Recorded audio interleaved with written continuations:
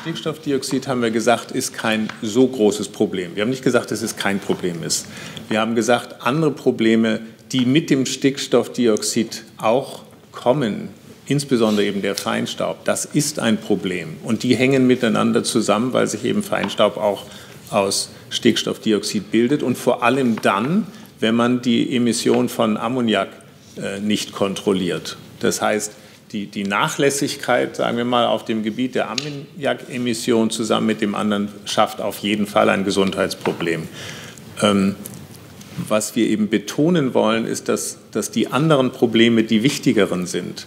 Und äh, auf das Problem des Feinstaubs ist Herr Köhler überhaupt nicht eingegangen. Und äh, insofern kann man nicht sagen, wir haben kein Problem mit Emissionen im Verkehr.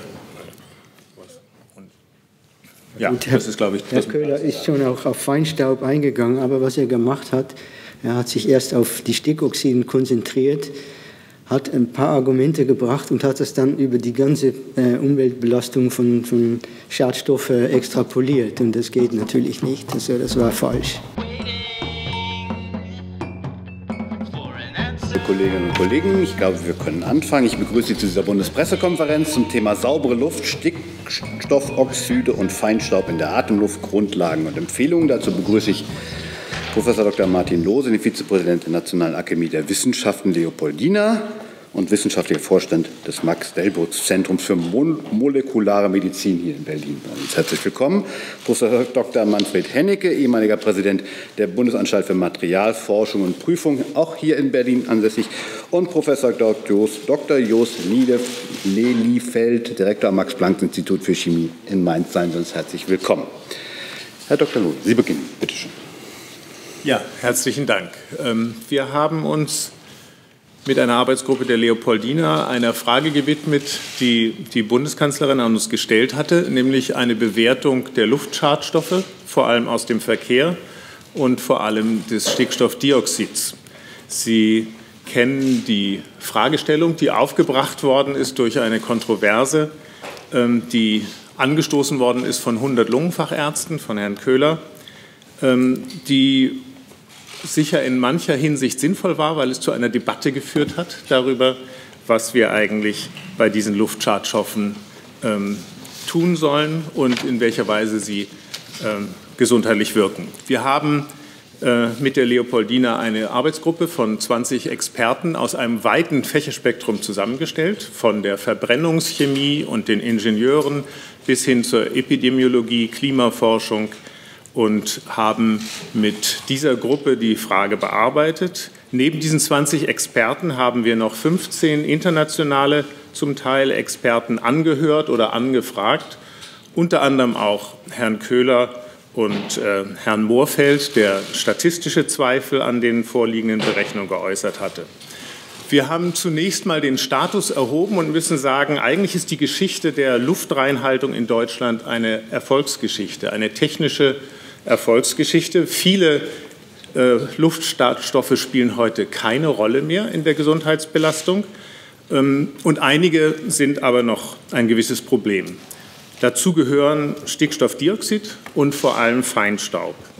Bei der Besprechung, wie wichtig das Problem des Stickstoffdioxids ist, sind wir relativ schnell ähm, dahin übergegangen zu sagen, das können wir nicht isoliert betrachten. Die isolierte Betrachtung einzelner Schadstoffe kann häufig sogar zu dem Gegenteil führen dessen, was man erreichen will, indem man für das Ganze dann ähm, die Situation eher verschlechtert.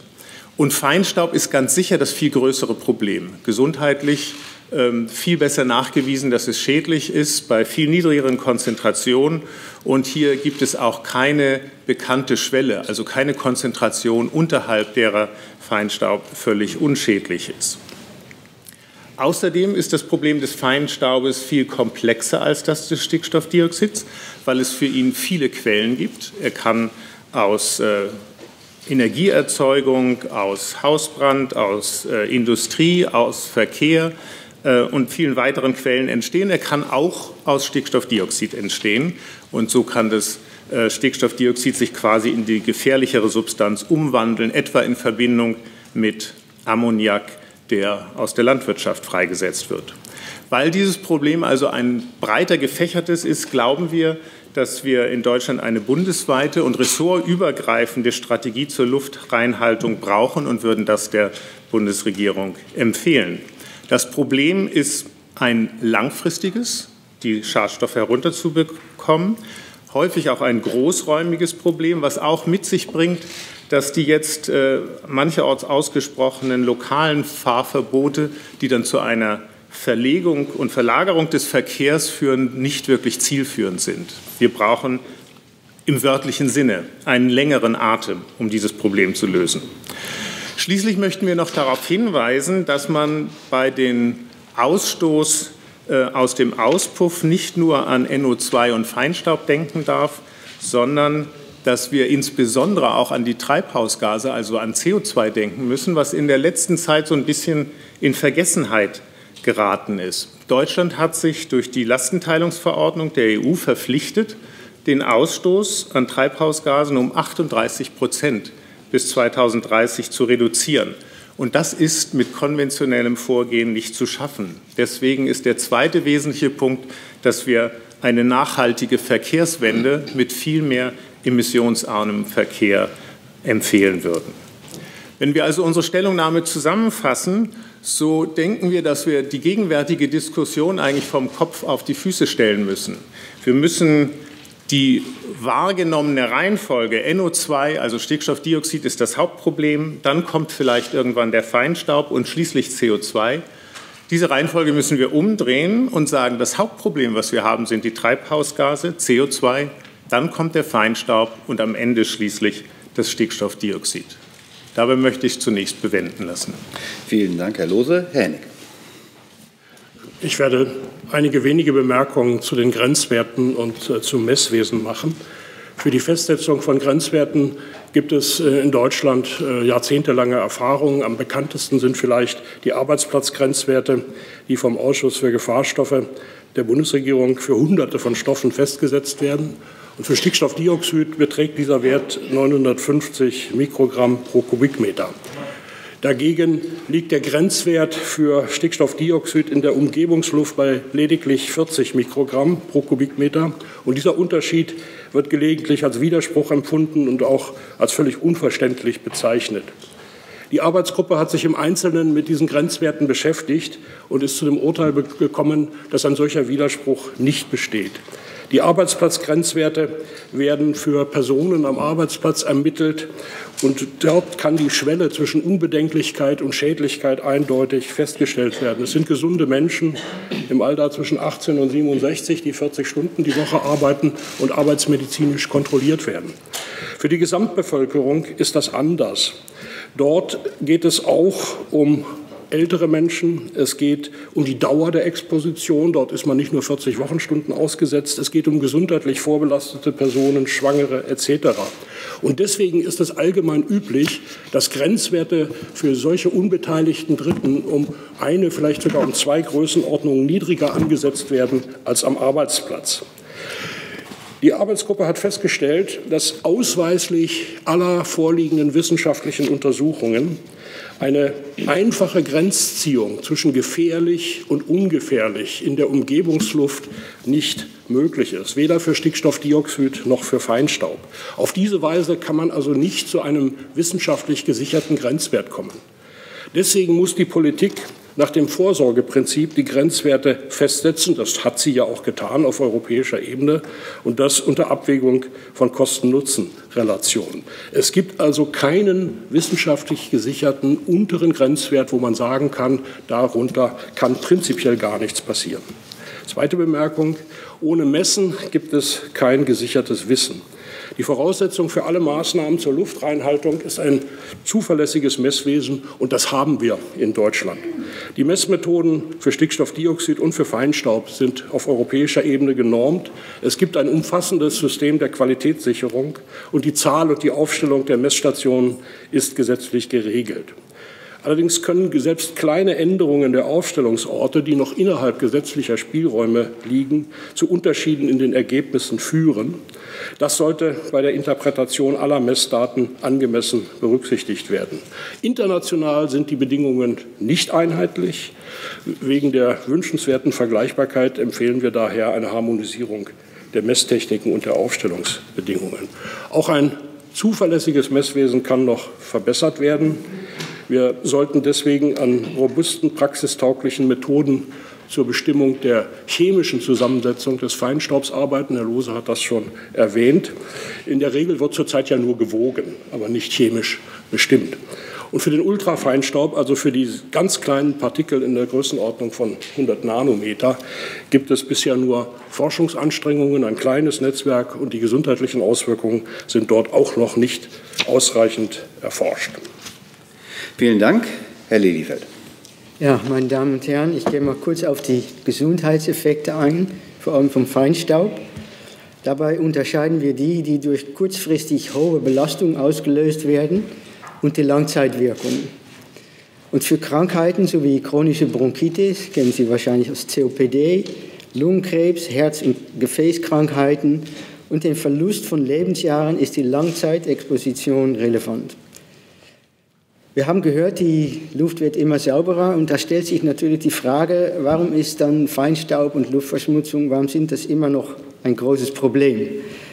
Und ähm, dafür gibt es drei Gründe. Äh, aus neuen Studien geht hervor, dass besonders Feinstaub mehr Gesundheitsrisiken mit sich bringt als vorher gedacht. Die chronischen Krankheiten sowie Diabetes und Bluthochdruck und sogar die Verringerung des Geburtsgewichtes bei Kindern und Demenz bei alten Menschen werden neuerdings auch mit Luftverschmutzung in Verbindung gebracht. Und sie erhöhen insgesamt das Risiko, an Herz- und Gefäßkrankheiten zu sterben. Als zweites, äh, die verbesserte Datenlage zeigt uns, dass sowohl bei relativ geringen, Sie haben auch gerade gehört, es gibt da eigentlich keinen Grenzwert, als auch bei sehr hohen Konzentrationen die Gesundheitseffekte noch viel größer sind als vorher gedacht. Das basiert vor allem auf neue Langzeitstudien, die in den USA und China durchgeführt wurden. Das ist mit ein Grund dafür, dass die Arbeitsgruppe empfiehlt, die Grenzwerte in Europa und Deutschland weiter zu senken und sich an den Richtwerten der Weltgesundheitsorganisation zu orientieren. Und als Dritte, die Menschen leben länger. Man stirbt kaum mehr an Infektionskrankheiten, zumindest bei uns, äh, weniger vielleicht in Afrika. Aber Menschen in Deutschland sterben dagegen häufiger an chronischen Beschwerden sowie Herz- und Gefäßkrankheiten. Und es sind genau diese Art von Krankheiten, die sich durch die Langzeitbelastung mit Luftverschmutzung verschlechtern. Um Unsicherheiten, die es natürlich gibt, weiter einzugrenzen, ist die Stärkung von Forschung und vielleicht auch die Fokussierung von Forschung erforderlich vor allem auf den Gebieten der Entstehung, die Erfassung und Analyse haben wir auch gerade gehört von Luftschadstoffen und auch bei der Modellierung ihrer Verteilung. Und äh, außerdem müssen wir mehr über die Wirkmechanismen der Gesundheitsbelastung herausfinden. Insbesondere welche Auswirkungen Ultrafeinstaub haben kann, gerade auch angesprochen, die sehr kleinen Teilchen. Und nicht zuletzt müssen wir die Strategien zur Vermeidung von Luftschadstoffemissionen verbessert werden. Danke. Vielen Dank. Wir kommen zu Ihren Fragen. Wir fangen da hinten an. Bitte schön. Äh, Nadine Lindner vom Deutschlandradio. Ich habe eine Frage. Sie haben eben eine Harmonisierung des Messwesens gefordert. Was genau meinen Sie eigentlich damit? Es werden, oder nicht? Bitte, wer jetzt? Ja. Es werden immer äh, die Bedingungen verglichen, zum Beispiel zwischen Deutschland und den USA. Äh, wir haben ähm, sehr unterschiedliche Regelungen bezüglich der Orte, an denen gemessen wird. Und da die Schadstoffe nicht gleichmäßig verteilt sind, wenn, wenn sie gleichmäßig verteilt wären, bräuchten wir in Deutschland nur eine einzige Messstation. Und weil sie aber ungleichmäßig verteilt sind, ein Beispiel finden Sie in unserem Bericht aus Reutlingen, kommt es sehr darauf an, äh, wo genau Aufstellungsorte stehen. Und da sind die Bedingungen beispielsweise in den USA wesentlich lockerer als in Europa. Und äh, das kann zu unterschiedlichen Messergebnissen führen. Ich betone, das führt nicht zu unterschiedlich viel Schadstoffen in der Luft. Die, die sind unabhängig von der Messung. Aber wo man die Kiste hinstellt, mit der man messt, das kann schon ab, äh, äh einen Einfluss auf das Ergebnis haben. Und das meinen wir. Wenn verglichen wird, sollte man auch diese Bedingungen kennen, damit man nicht äh, wirklich Äpfel mit Birnen vergleicht. Zusatz? Äh, eine Nachfrage dazu. Ähm, Im Moment, es geht ja im Moment in der politischen Debatte ja eher um äh, europäische Vergleiche, also Deutschland im Vergleich Richtig. zu anderen europäischen Ländern, ja. nicht um die USA. Mich würde interessieren, was sagen Sie denn zu diesen europäischen Vergleichen? Äh, auch das europäische Regelwerk äh, lässt einen gewissen Spielraum bei den Aufstellungsbedingungen zu. Das ist bekannt. Das ist aber auch unvermeidlich. Man kann nicht äh, von Brüssel aus vorschreiben, wo ein Messcontainer steht. Vielleicht steht da an der Stelle gerade ein Baum. Deswegen gibt es Spielraum. Dieser Spielraum ist verhältnismäßig eng, aber er ist bekannt. Und auch das Umweltbundesministerium hat ja kürzlich eine Untersuchung in Auftrag gegeben, wie groß der Einfluss dieses Spielraums auf die Messergebnisse ist. Das Ergebnis kenne ich noch nicht. Es liegt wohl auch noch nicht vor. Äh, aber dieses weiter zu harmonisieren ist äh, aus wissenschaftlich-technischer Sicht kaum möglich. Man muss mit einer gewissen Unsicherheit leben und alles spricht dafür, diese Unsicherheit hinterher bei der Bewertung der Messergebnisse zu berücksichtigen. Das kann man nicht perfektionieren. Herr Kollege. Herr Wolfgang Mulke, die Korrespondenten hier. Könnten Sie denn den Begriff nachhaltige Verkehrswende äh, ein bisschen mit Leben füllen und mal sagen, in welchem Umfang zum Beispiel auch Verkehr abgebaut werden müsste? Also generell glauben wir, dass es ähm, ein ganzes Bündel von Maßnahmen braucht. Aber ich denke, es ist klar, dass ähm, wir zurzeit ja praktisch keine Abnahme von CO2-Ausstoß haben im Verkehr, dass wir aber uns verpflichtet haben, fast 40 Prozent bis 2030 zu reduzieren. Das bedeutet, wir müssen die Gesamtfahrleistung versuchen zu reduzieren und wir brauchen auch andere Fahrzeuge. Ähm, und ähm, wir haben jetzt keine, keine Empfehlung, auf welche Technologie wir da genau setzen wollen. Sie wissen, es gibt ja ein ganzes Spektrum, aber ich glaube, dass wir emissionsarme Antriebe brauchen und dass wir auch gleichzeitig versuchen müssen, die ähm, Emissionen nicht nur aus dem Auspuff zu reduzieren oder zu vermeiden, sondern es gibt auch andere. Also Reifenabrieb zum Beispiel spielt eine Rolle, Bremsabrieb spielt eine Rolle. all das, denken wir, müssen wir umstellen. Und wir glauben, dass wir das nicht nur brauchen, um unsere Verpflichtung bei den Treibhausgasen einzuhalten, auch nicht nur, weil wir damit die äh, Emissionen an Feinstaub reduzieren können. Wir glauben, dass wir es auch für unsere Wirtschaft brauchen. Die Produkte, die die Welt nachfragen wird, werden eines Tages solche sein, mit denen diese Emissionen reduziert sein werden. Wir wissen nicht, wann das kommen wird. Wir gehen aber davon aus, dass es schnell kommen kann. Wären Sie dann äh, dafür, einen, äh, gesetzlichen Termin äh, zu setzen, äh, um Antriebe äh, mit herkömmlichen Sprit dann aus dem Verkehr zu ziehen? Ab 2030 Das ist ja im Moment in der Diskussion. Wir haben dazu nicht wirklich gearbeitet. Ich glaube, das müsste man, jedenfalls wenn man es als Wissenschaftler anschaut, wirklich in Detail durchrechnen. Ähm, ab wann das sinnvoll sein kann, wann die, wann die äh, Möglichkeiten erreicht sein werden. Das war jetzt nicht bisher nicht Thema. Wir würden uns gerne damit befassen, weil wir glauben, dass es ein zentrales Problem für unser Land sein wird. Ähm, aber ähm, ich denke, dass wir damit rechnen müssen, dass die Umstellung schnell erfolgen muss. Herr Kleuser. Ich habe zwei Sachfragen und dann eine weiterführen. Die erste, ich habe einfach die Zahlen nicht richtig mitbekommen. Sie haben eben gesagt, 40 äh, Milligramm sei der der Grenz, äh, Mikrogramm sei der Grenzwert im Verkehr. Und was ist der jetzt am Arbeitsplatz? 950. 950, okay, das war das eine. Dann das zweite, eben fiel der Begriff, wir hätten äh, sozusagen eine technologische oder eine technische Erfolgsgeschichte, was saubere Luft angeht.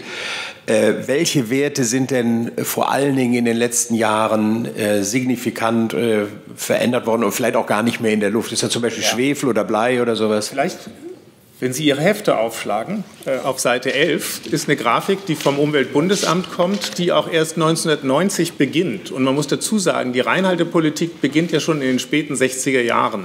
Der Himmel über der Ruhr. Äh, die Staubwerte sind, sind ganz doll runtergegangen. Und Sie sehen auch hier in dieser Grafik, Abbildung 1.1, also auf Seite 11 oben, äh, dass manche Sachen, Staub zum Beispiel, äh, Schwefeldioxid, äh, Benzol ist auch runtergegangen, das ist in hier dieser Grafik nicht drin. Also manche sind sehr deutlich runtergegangen um, um äh, 90 Prozent. Und wenn man sich auf die späten 60er Jahre bezieht, dann ist es noch viel mehr, um was es runtergegangen ist. Sie sehen aber auch, dass bei anderen Dingen das nicht so ist. Also ganz oben zum Beispiel Ammoniak, was im Wesentlichen aus der Landwirtschaft kommt, das bleibt konstant. Da sind auch die Selbstverpflichtungen nicht erreicht worden.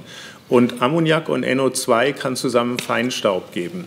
Das heißt, ähm, da entsteht sozusagen über das, was unmittelbar äh, ausgestoßen wird, hinaus noch eine Schadwirkung. Und das, denken wir, ist eine Sache, die angegangen werden muss. Das zeigt eben auch, dass die Quellen für den Feinstaub vielfältig sind und nicht nur äh, der direkt imitierte, sondern noch viel mehr der, der sich aus Gasen in der Atmosphäre bildet. Das ist das Forschungsgebiet von Herrn Lellyfeld, ähm, dass dieser Feinstaub eine große Rolle spielt. Also hier sehen wir eben bei einigen Punkten ist, ist keine Erfolgsgeschichte bisher. Und deswegen denken wir auch, wir müssen diese Erfolgsgeschichte, wenn wir es so nennen wollen, fortschreiben und uns den Problemen widmen, die jetzt noch da sind. Da wollte ich gerne noch mal nachhaken bei Feinstaub. Ähm, Feinstaub ist gleich Feinstaub? Das heißt, wenn der einmal entstanden ist, ist der ähnlich in der Wirkung oder gibt es da auch Unterschiede? Also Sie haben eben zum Beispiel Abrieb genannt, dann gibt es ja Ruß, dann gibt es ja wahrscheinlich auch unterschiedliche Straßenbelege dann aus der Landwirtschaft, Ammoniak und, und, und. Äh, kann man das differenzieren? Sind die unterschiedlich gefährlich auch? Ja, man kann es differenzieren, man kann es aber noch nicht, würde ich sagen, äh, ausreichend differenzieren und da sehen wir tatsächlich auch noch einen Forschungsbedarf. Bisher unterscheidet man im Wesentlichen nach der Größe. Partikel bis 10 Mikrometer. Das, was drüber ist, ist, gilt nicht mehr als Feinstaub. Also bis 10 Mikrometer wird als PM10 bezeichnet. PM steht dann für Particulate Matter, also äh, ja, Körnchen. Ähm, PM10 ist wahrscheinlich nicht so schädlich wie die kleineren, die als PM2,5 unterhalb von 2,5 Mikrometer bezeichnet werden. Der Grund dafür liegt im Wesentlichen in der Mechanik der, der äh, Einatmung, dass diese kleinen Partikel bis in die Lungenbläschen gelangen und dort Entzündungsprozesse auslösen können. Und dann hat sich in den letzten Jahren gezeigt, dass die ganz kleinen Teilchen, die sich zum Beispiel aus solchen Gasen bilden können, dass die nicht nur in die Lunge gelangen, sondern auch durch die Wand der Lungenbläschen ins Blut und dass sie sich im Körper verteilen können.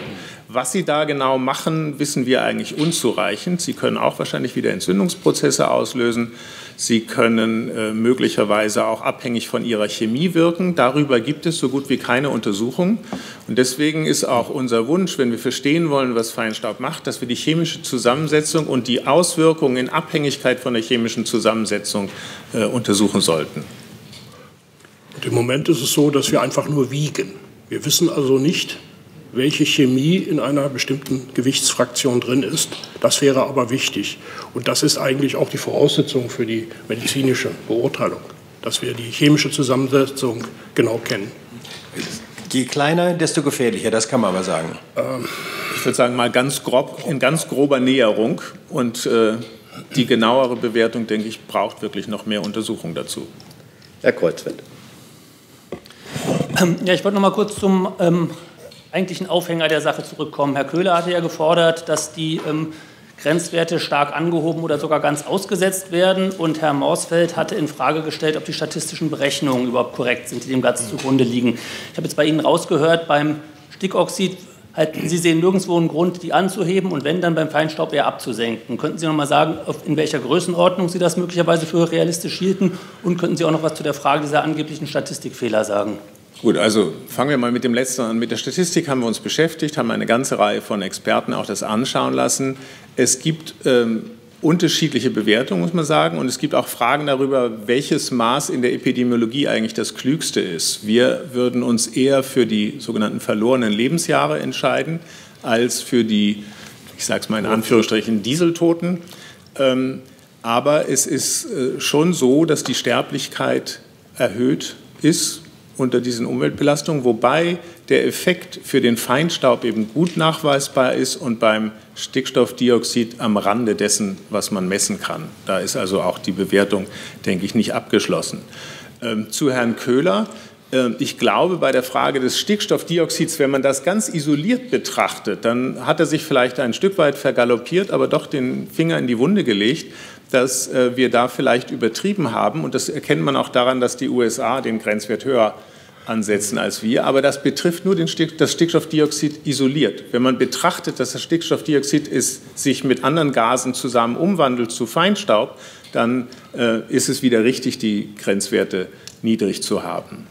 Beim Feinstaub ist es so, dass wir gesagt haben, wir empfehlen nachdrücklich eine Reduktion. Wir haben jetzt nicht gesagt, dass unbedingt der Grenzwert das, oder die Festsetzung des Grenzwertes das Richtige ist, aber dass wir auf jeden Fall die Emissionen kontrollieren müssen und dass wir damit an die Vielzahl der Quellen heran müssen, ähm, an, aus denen Feinstaub herauskommt. Die Gase hatten wir erwähnt. Es geht aber auch um so liebgewonnene Dinge wie die Kleinfeuerung und äh, es geht um den Bremsabrieb, den Reifenabrieb zum Teil. Also es gibt ganz viele Quellen, die wir betrachten müssen. Das wird mühsamer. Deswegen denken wir auch, dafür braucht es ein integriertes Konzept, in dem man alle diese Quellen bedenkt und äh, dann schaut, wie, wie hoch die Emissionen sind und möglicherweise auch später einmal noch schaut, was sind das eigentlich für Feinstäube und machen die einen Unterschied? Ist das, äh, ob das metallhaltig ist, ob es granulär ist, ob es biologisch abbaubar ist, macht das für den Körper Unterschiede? Das wissen wir noch nicht ausreichend. Vielleicht. Bitte. Vielleicht sollte man noch erwähnen, dass wir bei der Einhaltung der geltenden Grenzwerte für Schwefeldioxid und Feinstaub lediglich ein Problem haben bei Schwefeldioxid. Die, werden, die Grenzwerte werden in Deutschland noch äh, im Jahr 2018 an Stickstoff. Stickstoffdioxid, Entschuldigung, bitte um Nachsicht. Äh, die werden noch an äh, fast 50 Stellen äh, überschritten. Die Karte finden Sie in dem Bericht. Die Grenzwerte für Feinstaub halten wir deutschlandweit ein. Ähm, Aber es mag daran liegen, dass dieser Grenzwert ähm, nicht den Empfehlungen der Weltgesundheitsorganisation entspricht. Die sind nämlich schärfer. Allerdings würden wir auch keine allzu große Mühe haben, den Weltgesundheitswert einzuhalten, mit gewissen Anstrengungen. Mhm. Naja, da liegen wir schon noch ein, Stück weit drüber. Ja, wäre ich etwas skeptischer, ehrlich gesagt. Und die Weltgesundheitsorganisation überarbeitet im Moment auch ihre Richtwerte und die werden wahrscheinlich weiter runtergehen, vermutlich übrigens auch für NO2. Und es sind auch Länder, die ihre Werte schon auf 30 gesenkt haben, weil es bei uns noch 40 ist. Es gibt bei Feinstaub die Empfehlung von der Gesundheitsorganisation, unter 10 Mikrogramm als Mittelwert, Jahresmittelwert einzuhalten. Also da liegen wir deutlich drüber in Deutschland. Das wird nicht so leicht sein, da drunter zu kommen. Und äh, es sind auch viele Länder, die sich auch schon vorher entscheiden, diese äh, Werte noch weiter runterzusetzen. Zum Beispiel in Australien sind es 8 Mikrogramm und die Kanadier werden auch unter 10 gehen und auch die Amerikaner, obwohl das unter der heutigen Administration etwas langsamer geht, sind dabei, diese Dinge weiter zu überarbeiten. Also es wurde auch eben gesagt, es gibt keinen richtigen Grenzwert, wo man sagen kann, dass es keine Gesundheitseffekte gibt. Und weil wir auch mehr Daten haben, jetzt auch von relativ niedriger Konzentration, kann man auch feststellen, dass auch bei niedrigerer Konzentration, also unter 10 Mikrogramm, äh, Gesundheitseffekte auftreten. Ich glaube eher, dass diese Diskussion noch äh, lange bei uns bleiben wird. Zusatz? Dazu kurz nachgefragt. Hatte ich Sie denn dann eben richtig verstanden, dass Sie dafür plädieren würden, dass äh, auch die EU die WHO-Grenzwerte übernimmt? Und ist dann die Arbeitsgruppe sich da nicht ganz einig in dieser Frage? Deute ich das richtig? Nein, da sind wir uns einig. Ja. Wir haben äh, gesagt, dass wir nicht empfehlen wollen, welcher Weg dahin der richtige ist. Wir haben auf jeden Fall äh, völlige Einigkeit, dass wir meinen, dass die äh, Emission runtergehen muss ja. und dass wir über diese Reduktion der Emissionen auch eben die, die Gesamtspiegel ähm, des Schadstoffes reduzieren müssen. Äh, wenn man, äh, das ist ganz eindrucksvoll, wenn man sich Satellitenbilder anschaut mit der Verteilung von Feinstaub in der Welt, dann ist natürlich das meiste in der Sahara. Aber äh, wenn man dann guckt, wo er noch ist, sieht man, dass in Europa deutlich mehr ist, als Herr Lellifeld hat Australien erwähnt und auch in den USA. Und selbst in den dicht besiedelten Bereichen der USA, an der Ostküste oder in Kalifornien, sieht man deutlich weniger als bei uns. Das heißt, selbst in einer hochindustrialisierten Gesellschaft ist es erreichbar, die Werte zu senken. Und das ist das, was wir auch für Deutschland empfehlen würden. Herr Kollege.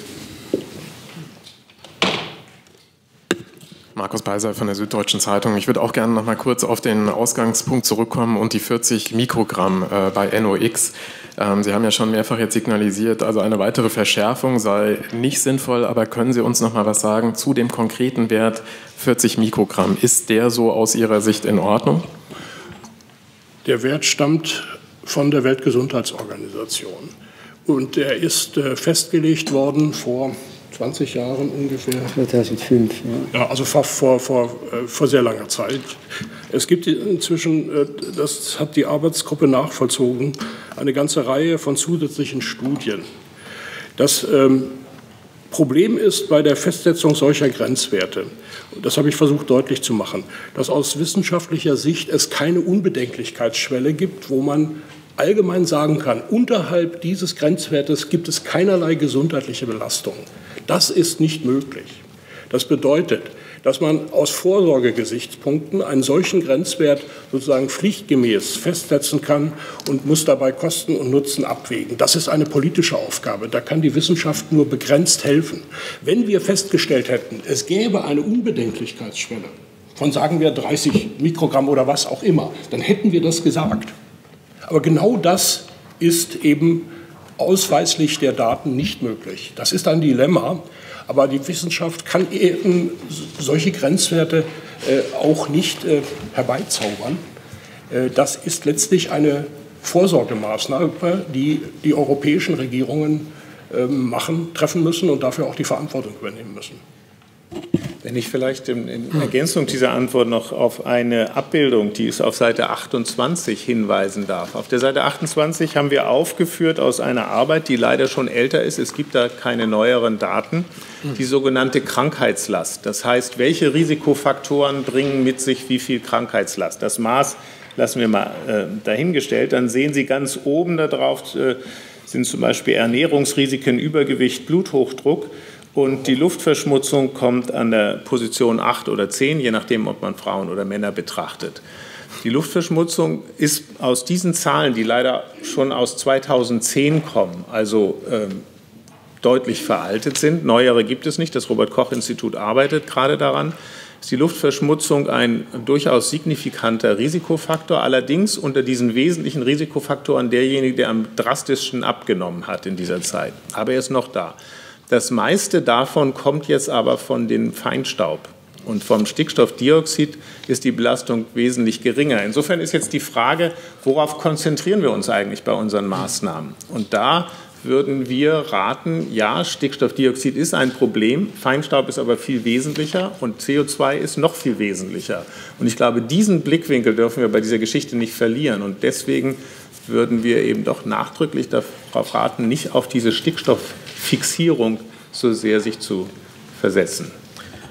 Zusatz? Vielleicht erlauben Sie da noch eine kurze Nachfrage, das verstehe ich schon. Ähm, das war ja auch Botschaft dessen, was Sie gerade gesagt haben, aber dennoch die Nachfrage, ähm, diese 40 Mikrogramm, ähm, der Subtitel der Zweifler war ja, die könnten möglicherweise auch erhöht werden, um die Fahrverbote zu umgehen. Wäre das aus Ihrer Sicht möglich? Also erstmal würde ich sagen, aus medizinischer Sicht können wir es nicht so genau beurteilen und ist der Unterschied zwischen 40 und 50 wahrscheinlich wesentlich. Wenn man es politisch sich betrachtet, kann man sich nicht vorstellen, dass das funktionieren kann. Und wenn man sich technisch anguckt, dann denken wir, wenn wir uns tatsächlich auf CO2 und emissionsarme Antriebe konzentrieren würden, dann wäre das Problem sowieso gelöst.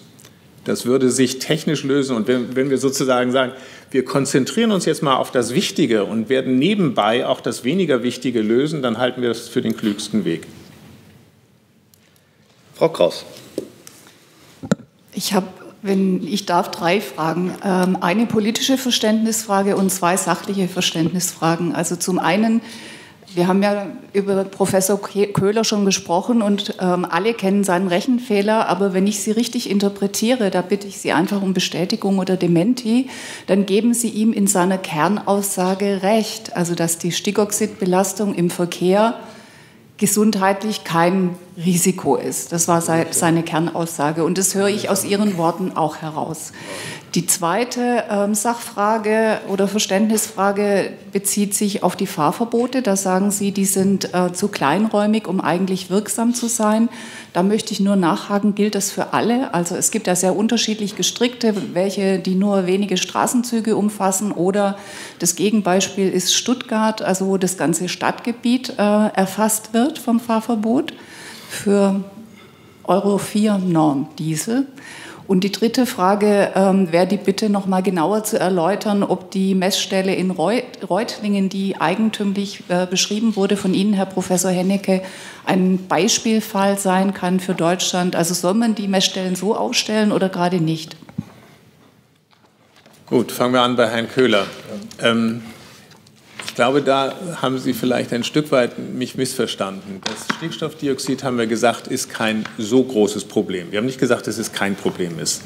Wir haben gesagt, andere Probleme, die mit dem Stickstoffdioxid auch kommen, insbesondere eben der Feinstaub, das ist ein Problem. Und die hängen miteinander zusammen, weil sich eben Feinstaub auch aus Stickstoffdioxid bildet und vor allem dann, wenn man die Emission von Ammoniak äh, nicht kontrolliert. Das heißt, die, die, Nachlässigkeit, sagen wir mal, auf dem Gebiet der Ammoniakemission zusammen mit dem anderen schafft auf jeden Fall ein Gesundheitsproblem. Ähm, was wir eben betonen wollen, ist, dass, dass die anderen Probleme die wichtigeren sind.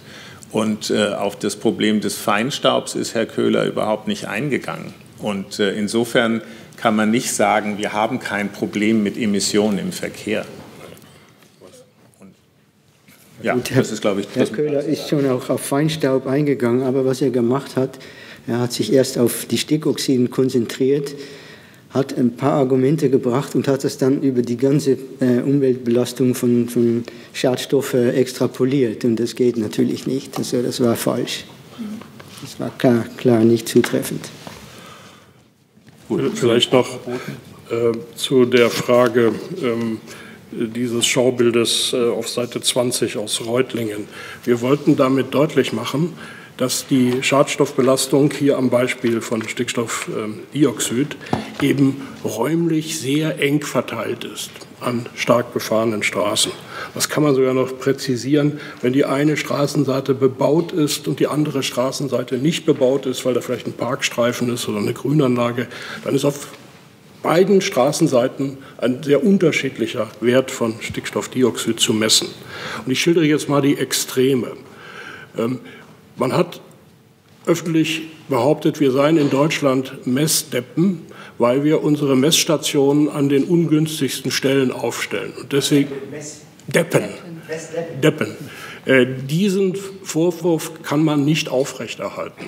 Es gibt schon die Vorschrift, man soll die maximalen Konzentrationen erfassen, die für die Bevölkerung wichtig sind. Auf der anderen Seite könnte man natürlich auch auf die Idee kommen, die, das wäre das andere Extrem, sich ein solches Schaubild zu nehmen und die Messstation im Rahmen des Zulässigen, das wären zehn Meter von der Straße entfernt und eine Höhe von vier Metern, wenn man dort die Schnüffelleitung für die Messstation platziert, dann hat man vielleicht die Chance, unter dem Grenzwert zu bleiben und damit also unbehelligt zu bleiben von Fahrverboten. Das sind beides Extreme, die wir so in der Fläche nicht festgestellt haben. Es wäre auch Unfug. Ich hatte ja schon gesagt, die Menge der Schadstoffe hängt nicht davon ab, wo wir die Messstelle hinstellen. Wir müssen versuchen, die Schadstoffbelastung insgesamt zu senken. Und dazu muss man natürlich wissen, wie die Verteilung der Schadstoffe örtlich ist. Und ich, es ist ja so, dass die zeitliche Entwicklung in den letzten Jahren dazu geführt hat, dass die Stickstoffdioxidwerte, aber auch die ähm, Feinstaubwerte in Deutschland zurückgehen, von Jahr zu Jahr, einfach wegen der Erneuerung der Flotten, der Fahrzeugflotten. Dieser Prozess äh, geht von alleine weiter und äh, wird dazu führen, dass äh, wir in wenigen Jahren ähm, beim Stickstoffdioxid nur noch wenige Überschreitungen der Grenzwerte haben werden. Äh, und äh, das geht uns, ich sage das mal etwas läppisch, nicht schnell genug. Wir könnten uns mehr vorstellen, auch mehr Maßnahmen. Aber grundsätzlich ähm, äh, ist die Botschaft, dass sich das Problem schon weiter entschärfen wird. Zur Frage der Fahrverbote kriegen Sie noch eine Antwort. Ähm, die die meisten Gesundheitswirkungen, über die wir hier reden, insbesondere beim Feinstaub, sind Langfristwirkungen. Erstens. Zweitens, beim Feinstaub ist es anders als beim NO2. Die, die Verteilung ist nicht so kleinräumig, auch weil er zum Teil erst entsteht, ähm, sodass ähm, die wesentliche Frage eigentlich ist, was erreichen wir mit lokalen Fahrverboten? Können wir wirklich die langfristige Belastung der Bevölkerung damit reduzieren? Ganz sicher nicht, wenn der Verkehr nicht weniger wird dadurch, sondern wenn er nur verlagert wird und der Feinstaub verteilt sich dann, in Stuttgart zum Beispiel, verteilt er sich über den ganzen Talkessel. Äh, da ist es relativ unerheblich, ob jetzt NO2 bedingt an irgendeiner Hauptstraße gesperrt ist. Also das heißt, die eigentliche Gesundheitsbelastung wird durch diese Fahrverbote nicht gemindert. Es gibt eine Ausnahme, wo wir uns auch innerhalb der Arbeitsgruppe nicht so ganz einig waren, das ist die Frage der Auslösung von Asthmaanfällen. Das wäre jetzt eine, ein akutes Ereignis, was Ihnen auch passieren kann. Sie stehen da an einer Kreuzung, der Stickstoffdioxidwert ist hoch und dann wird ein Anfall ausgelöst. Da ist die Literatur ähm, hat relativ weit gespreizte Ergebnisse. Das wurde bei uns in der Gruppe von Toxikologen auch etwas anders gesehen als von Epidemiologen. Wann geht es los? Wann müssen wir damit rechnen? Größenordnungsmäßig einig ist man sich so, dass in, in etwa bei 200, und das ist der Spitzenwert, der als Einstundenwert erreicht werden äh, darf oder äh, einige Tage auch überschritten werden darf an solchen verkehrsbelasteten Punkten, dass diese Größenordnung von 200 Mikrogramm pro Kubikmeter ausreichen kann, um Asthmaanfälle bei Prädisponierten, also bei solchen Leuten, die schon Asthma haben, und es geht jetzt darum, dass ein Anfall losgehen kann, dass das vorkommen kann. Ähm, das, das ist äh, wohl möglich und da gibt es diese kurzfristigen Effekte. Frau Lindner. Ich habe noch eine Nachfrage und zwar, ich würde mich gerne auch auf NO2 konzentrieren, weil das ist ja die Debatte, die auch politisch geführt wird, unter anderem auch wegen der Entscheidung des Bundesverwaltungsgerichts, vielen anderen Gerichtsentscheidungen. Meine erste Frage ist dazu, Sie sind ja als Leopoldiner auch befugt dazu, ähm, politische Handlungsanweisungen zu geben. Wie würde denn die politische Handlungsanweisung ähm, aussehen, zum Beispiel beim Thema Fahrverbote? Kann man die jetzt wieder abräumen, weil sie eh nichts bringen? Ähm, und die zweite Frage ist, ähm, es ging ja auch in dieser ganzen Debatte auch mit Herrn Köhler um die Frage, was eigentlich mit den vorliegenden äh, Studien der WHO zum Thema NO2 ist. Also das heißt, ähm, Sie haben ja auch in Ihren Arbeiten ausgewertet, was mit diesen Vorarbeiten äh, geschehen ist, ob die sinnvoll sind oder nicht. Wie ist denn da Ihr Urteil ausgefallen? Da meine ich jetzt irgendwie noch nichts dazu gehört zu haben. Gut, also Handlungsanweisungen können wir leider nicht geben, würden wir aber gerne. Ähm, aber Empfehlungen äh, würden, können, können wir schon dazu sagen. Ähm, bei der Frage, ob man sich auf NO2 konzentriert, ist das eine die politische oder von der Debatte ausgehend, da kann ich Ihnen äh, folgen. Aus inhaltlicher Sicht ist es aber ein Unfug, sich auf NO2 zu konzentrieren, weil es das wesentlich ja, das Unwichtigste von den drei Problemen, die wir hier besprechen, ist. Und die Debatte hat sich an diesem unwichtigsten Problem entzündet. Und der Grund dafür ist einer, der sich eigentlich im Wesentlichen nicht aus, aus den Daten ergibt, sondern aus der juristischen Lage. Die juristische Lage ist so, dass aus, ich würde es mal sagen, historischen Gründen der NO2-Grenzwert relativ dicht an den faktisch gemessenen Werten ist. Und die anderen für, für äh, Feinstaub ist der Wert weiter weg von dem, was bei uns gemessen wird. Insofern wird das nicht problematisiert, obwohl es das viel Wichtigere ist. Und für CO2 haben wir überhaupt keinen. Und deswegen kann man das zeitweise vergessen, wenn man nicht dann bei Fridays for Future oder ähnlichen Gelegenheiten sagt, ja, das ist eigentlich unser Hauptproblem. Also diese Fixierung auf NO2 als das unwichtigste Problem ist etwas, von dem wir sagen wollen, das sollte man nicht tun. Jetzt ist Ihre Frage, wie soll man denn mit dieser Situation umgehen? Ähm, da hat der Jurist in unserer Gruppe gesagt, auch so wahnsinnig groß ist der Spielraum da nicht. Das EU-Recht ist eindeutig. Die Messverfahren haben wir von Herrn Henne gehört. Da kann man ein bisschen spielen, aber kein Mensch wird jetzt die Empfehlung äh, geben, dann stellt doch den Rüssel ein bisschen weiter weg und das Problem ist gelöst. Also das ist auch äh, politischer Unfug. Das heißt, wir müssen irgendwo mit dieser Situation umgehen. Aus, aus, unserer wissenschaftlichen Sicht würden wir aber sagen, da ist auch nicht wahnsinnig viel Vernünftiges zu machen. Ja, weil wenn wir sagen, das wesentliche Problem ist äh, der Feinstaub, dann sind die Maßnahmen, die man in der Hand hat, um wirklich eine Senkung der Gesundheitsbelastung lokal zu erreichen, die sind minimal.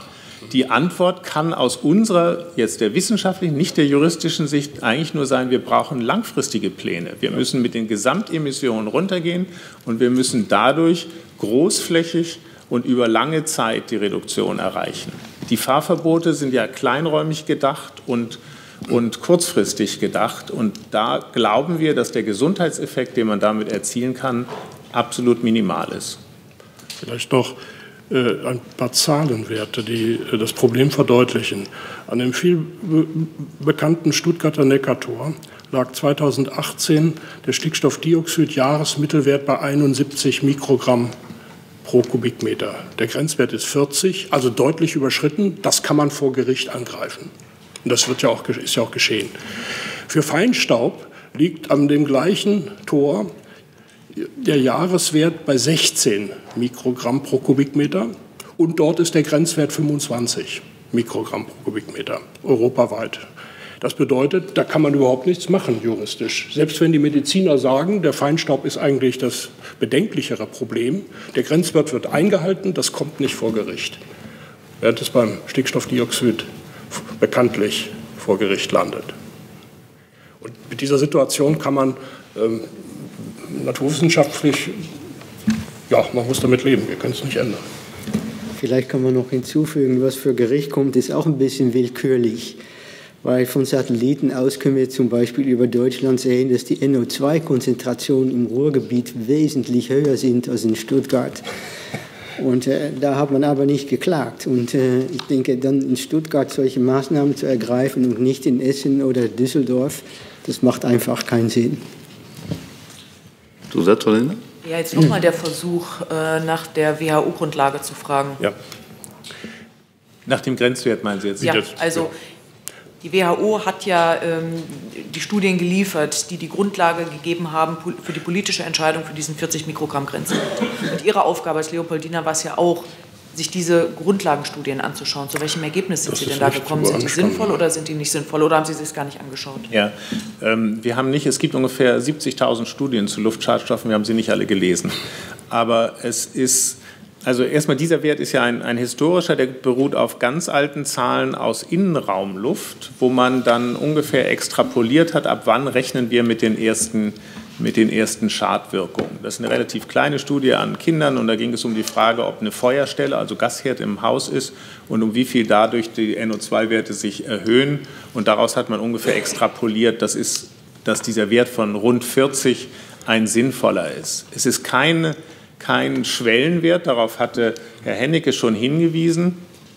Und es ist eben ein, ein Innenraumwert mit Langzeitwirkungen. Ähm, bei der Frage, wie viel NO2 ähm, ein gesunder Mensch äh, aushalten kann, sind sich die meisten Leute einig, dass das kein Problem ist. Das könnten die Werte sehr viel höher sein. Die, die offene Frage ist, wie viel ähm, können sehr empfindliche Leute aushalten. Da gibt es einmal die schon angesprochenen Asthmakranken und dann gibt es wahrscheinlich auch äh, einige Patienten, die aufgrund genetischer Veranlagung besonders empfindlich sind. Und da könnte man sagen, da müssten wir noch weiter runtergehen. Wenn man also die Gesundheitseffekte ganz weghaben wollte, müssten wir wahrscheinlich noch weiter runtergehen. Ähm, die Frage ist dann wirklich eine politische Abwägung. Wie aufwendig ist der Prozess, um wenige Leute noch vermehrt zu schützen und wie steht das im Vergleich zu der Bekämpfung von anderen Risiken? Ähm, also es gibt, es gibt für diese NO2 Geschichte keine ganz scharfe Trennung. Und dann ist es auch nochmal ein, ein großes Problem, wie weit man die Wirkung anderer Schadstoffe rausrechnen kann. NO2 taucht in der Umwelt meistens korreliert auf mit anderen Schadstoffen, also unter anderem Feinstaub. Und jetzt stellt sich in epidemiologischen Studien die Frage, wie gut kann ich den Effekt von Feinstaub, der viel größer ist, rausrechnen, um den Effekt von NO2 zu messen. Die Toxikologen, die andere Experimente machen, die stellen Menschen in eine Kammer und geben da eine bestimmte Menge Stickstoffdioxid dazu und messen dann, was passiert. Die können das sauber auseinanderrechnen und sagen, die Probanden, die wir da gemessen haben, die vertragen sehr viel. Das waren aber auch nicht die empfindlichsten. Und auf der anderen Seite stehen die Epidemiologen, die sehr viel größere Zahlen haben und beobachten, dass auch bei niedrigen NO2-Konzentrationen Effekte auftreten. Und da stellt sich aber die Frage, sind die Messbedingungen so genau, dass wir äh, sagen können, das ist absolut nicht durch Feinstaub bedingt. Und an der Stelle haben wir wirklich ein, eine noch offene Situation, dass wir nicht sagen können mit, mit Sicherheit, welche Schwelle wir da brauchen. Herr Lellifeld hat berichtet, dass genau das jetzt bei der WHO nochmal durchgedacht wird und durchgeguckt wird und dass aus den epidemiologischen Daten man sagen kann, man kann eine Absenkung rechtfertigen. Man kann aber auch sagen, da kriegt man die Wirkung des Feinstaubes nicht richtig rausgerechnet. Und das würde ich sagen, ist eine äh, letztlich noch offene Frage. Herr Klauser. Ähm, helfen Sie mir doch bitte nochmal, was die, die Wirkung angeht von den verschiedenen Sachen. Also CO2 ist ja ein Treibhausgas und ich glaube, wenn das irgendwo entsteht, kann das auf der ganzen Welt in irgendeiner Form wirken. Wenn bei NOx schon der Standpunkt der Messstation etwas ausmacht, scheint das eine sehr örtlich begrenzte Wirkung zu sein. Äh, und dann äh, die Feinstäube, verteilen die sich großflächig? Sie sprachen eben von der Sahara. Ist das etwas, was auch an anderen Stellen Wirkung hat oder ist das da konzentriert und nur dort messbar? Also ich habe noch nicht verstanden, was wo äh, messbar. Und dann eine andere Frage, die geht so ein bisschen ins Politische. Fühlten Sie und Ihre Kollegen sich eigentlich äh, mit der Bitte, das alles noch mal zu überprüfen, in irgendeiner Form äh, einem politischen Druck ausgesetzt? Oder hatten Sie das Gefühl, dass von Ihnen ein besonderes Ergebnis erwartet würde? Also letztere Frage, glaube ich, können wir ganz klar sagen, nein. Ja. Äh, wir, wir, finden es äh, gut und, und, sinnvoll, dass äh, diese Frage an uns gestellt worden ist. Die war ja zunächst mal auf NO2 begrenzt und wir haben dann gesagt, wenn wir das anschauen, dann schauen wir das im Kontext an und von daher finden wir das richtig. Bei der räumlichen Verteilung würde ich Ihnen im Großen und Ganzen zu, äh, zustimmen. Also CO2 geht in die Atmosphäre insgesamt, macht Klimaerwärmung, das, äh, wie wir alle wissen. Ähm, der Feinstaub verteilt sich sehr viel großflächiger und das, wenn, wenn Sie zum Beispiel äh, das sollte man natürlich nicht tun, aber angenommen, Sie fliegen äh, und Sie sehen so eine Stadt, dann sehen Sie ja häufig eine Dunstglocke. Das ist der Feinstaub, den man da sieht, der also über einer ganzen Stadt liegt und äh, wo wir auch damit rechnen müssen, dass er eben auch dort liegt, wo der Verkehr oder die anderen Quellen nicht sind. Und beim Stickstoffdioxid ist es eben so, deswegen hatten wir dieses Bild hier gebracht, dass, dass die Spitzenkonzentrationen wirklich klein und kleinsträumig da sind. Nicht? Und insofern macht das auch in der Gesundheitswirkung Unterschiede. Vielleicht kann ich da mal kurz darauf eingehen. Das hat mit Lebensdauer zu tun. Ja. Die Treibhausgase so wie Kohlendioxid haben Lebensdauer. Wenn man heute ab, abschalten könnte, dann wäre der Effekt von, von Kohlendioxid noch über Jahr, Jahrhunderte bei uns. Das dauert sehr lange, weil die Lebensdauer dieser Gase so lang ist. Und äh, bei, äh, bei, bei Feinstaub ist es so, dass viele von diesen Teilchen in der Atmosphäre gebildet werden. Das heißt, es muss sich zunächst mal einiges an Gase zusammentun. Das dauert Stunden bis Tage. Das heißt, die sind auch relativ weitgehend äh, über Deutschland zum Beispiel verbreitet. Und bei den Stickoxiden, die reagieren auf eine Zeitskala von Minuten bis einer Stunde oder so. Und deshalb haben die, eine sehr viel, äh, haben die sehr viel größere Gradienten in der Nähe von Quellen. Frau Hescher.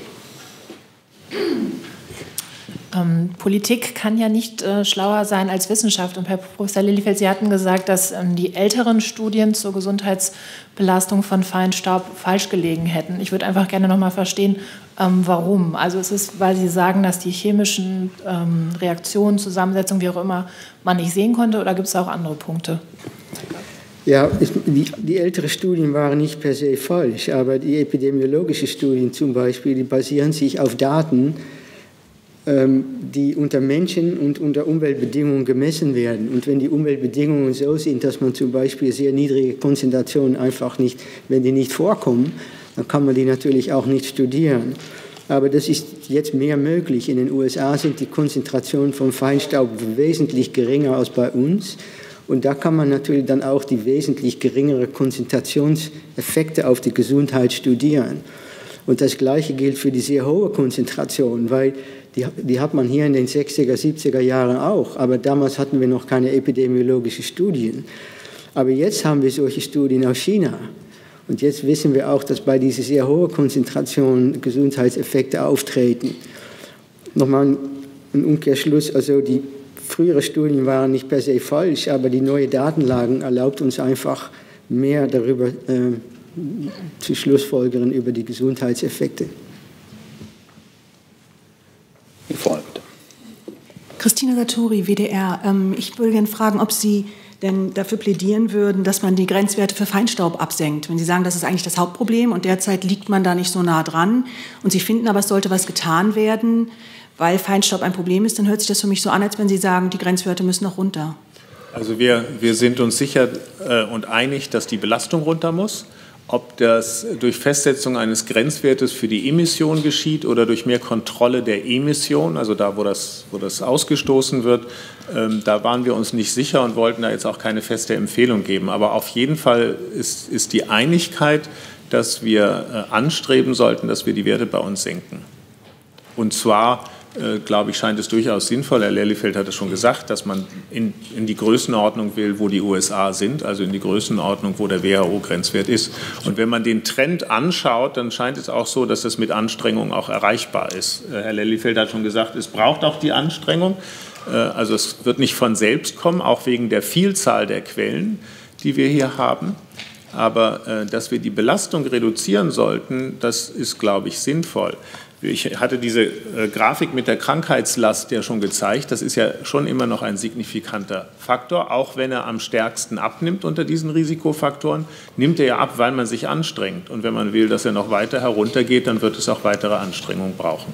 Das ist das, was wir äh, mit diesem Wort ein integriertes eine integrierte Strategie für die Luftreinhaltung meinen, dass wir uns diese Quellen anschauen sollten und dann schauen, wie wir auf niedrigere Werte kommen. Man muss auch dazu sagen, das hat Herr Lose auch schon angedeutet, solche Bilder gibt es eigentlich für relativ rezente ähm, Global Burden of Disease, heißt das, Überlegungen noch nicht. Diese Figur stammt aus 2010 und in 2015 wurde die schon revidiert, wobei die Feinstaub als sehr viel äh, höher belastend äh, gewertet wurde. Und wie gesagt, es wird im Moment wieder überarbeitet. Wir können noch nicht genau sagen, worauf das hinausläuft.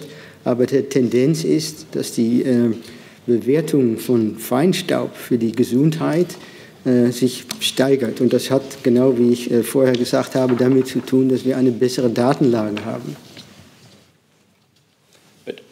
Ja, Christian Grimm von der Augsburger Allgemein. Ich hätte noch mal eine Frage an Sie. Sie sagen, wir müssen an den Feinstaub ran und das ist eine längerfristige Strategie. Können Sie noch mal Beispiele nennen, wo Sie denn den meisten Reduktionsbedarf oder den meist, die meisten Reduktionsanstrengungen sehen. Also ist das Industrie, ist das im Verkehr Umstieg auf Elektroautos, auch Elektroautos haben Bremsen natürlich. Ähm, vielleicht könnten Sie da mal noch einige Beispiele nennen, wie man denn die Feinstaubbelastung schnell senken kann.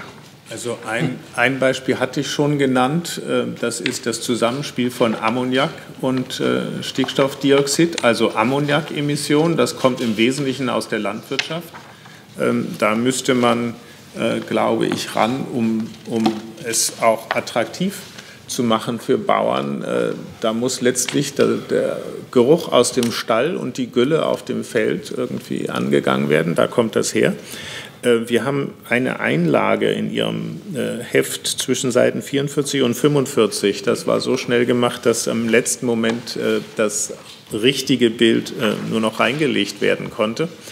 Ähm, da sehen Sie, ähm, dass was den Auspuff betrifft, den direkt, die direkten Emissionen des Auspuffs schon ziemlich viel erreicht worden ist. Das ist die graue Linie, die deutlich runtergeht. Das heißt, ein gut regulierter Bereich zeigt die größten Effekte.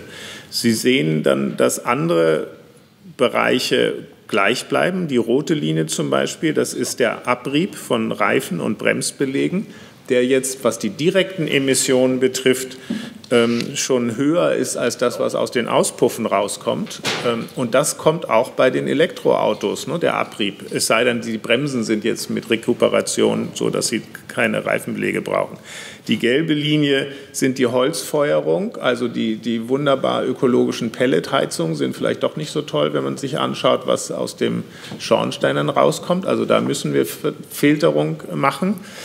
Und ähm, wir müssen quantitativ, das ist hier nicht drin, weil das nur die direkten Emissionen sind, wir müssen quantitativ eben auch die Bildung von Feinstäuben aus Gasen bedenken. Ammoniak und NO2 ist ein Beispiel, was ich Ihnen gegeben habe. Quantitativ, ich glaube, das äh, kann man aus den Untersuchungen von Herrn Lellifeld direkt schließen, quantitativ spielt das noch eine größere Rolle als die direkten Emissionen. Mhm. Das heißt, wir müssen wirklich an eine Vielzahl von Quellen ran, wenn wir diese Werte senken wollen. Frau Kraus. Ich wollte noch mal äh, ein bisschen zum Prozess in der Arbeitsgruppe fragen. Sie haben ja noch nicht so oft, also als Leopoldina, den Auftrag gehabt, in dem laufenden, schwelenden politischen Streit, also sozusagen ähm, den aktuell, aktuellen Stand der wissenschaftlichen Erkenntnisse zusammenzufassen. Wie leicht oder schwer war es denn in der Arbeitsgruppe, sich zu einigen? Und können Sie ein bisschen was vom Prozess erzählen?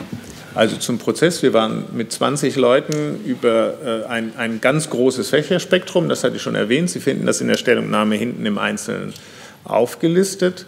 Wir haben, ein, wir haben gestartet mit einem physischen Treffen, wo wir etliche Stunden zusammen diskutiert haben und die Hauptprobleme äh, benannt haben. Wir haben einen ganzen Tag Anhörungen von Experten aus dem Ausland, äh, auch aus der Industrie, aus dem Motorenbau, aus der Abgasreinigung betrieben.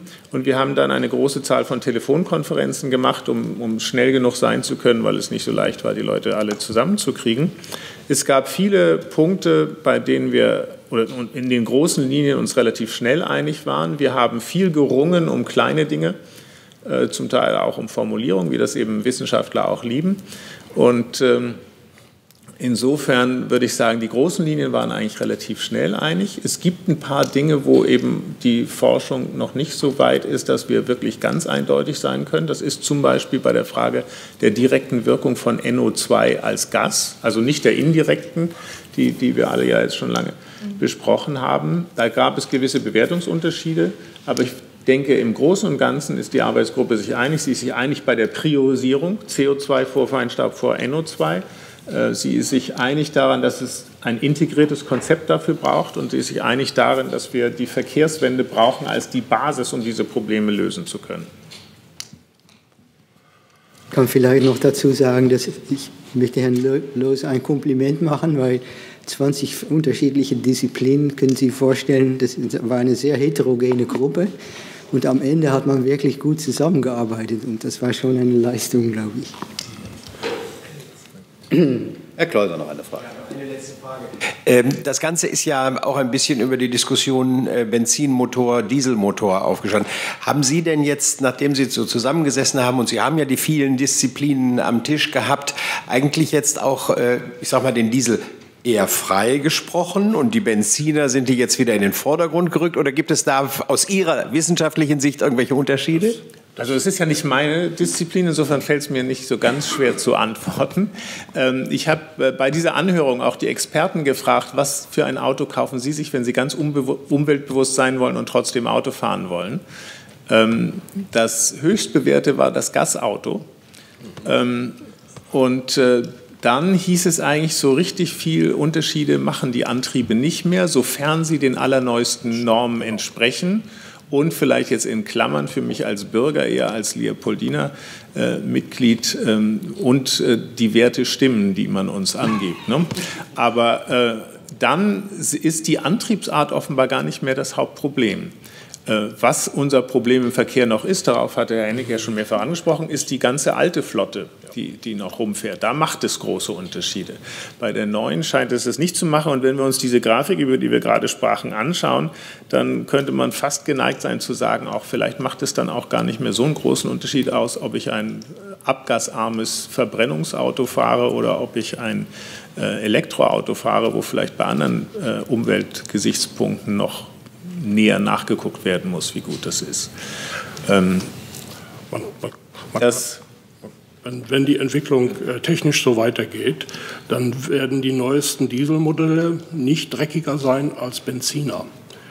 Äh, erste Feststellung. Zweite Feststellung, äh, wenn die Entwicklung so weitergeht, dann wird bei den PKWs die äh, Luftbelastung nicht mehr aus dem Auspuff kommen, sondern, das können Sie der Grafik ja jetzt schon entnehmen, äh, der Abrieb ist mengenmäßig bedeutender als das, was aus dem Auspuff kommt. Bei Feinstaub. Direktemission. Bei Feinstaub. Also eine Feinstaub. Zahl, die mich sehr erschreckt hat, die ich nicht kannte, wir, der Reifenabrieb allein in Deutschland macht 150.000 Tonnen aus. Das ist nicht nur das, Feinstaub. 150.000 äh, Tonnen Reifenabrieb. Der, der, Staub ist nicht, das ist nicht alles fein, also das ist ja erstmal grobkörnig, aber das liegt in unserer Gegend rum. Und wenn dann auch viele Autos drüber fahren, dann wird aus Staub eben auch Feinstaub. Aber die 150.000 Tonnen sind eben irgendwo in der Landschaft und die machen wir jedes Jahr dorthin nur dass man so ein quantitatives Gefühl da hat, was eben neben dem Auspuff noch äh, beim Verkehr an Belastung entsteht. Gibt es weitere Fragen? Das sehe ich nicht. Dann danke ich dem Herrn Borne und wünsche einen schönen Tag.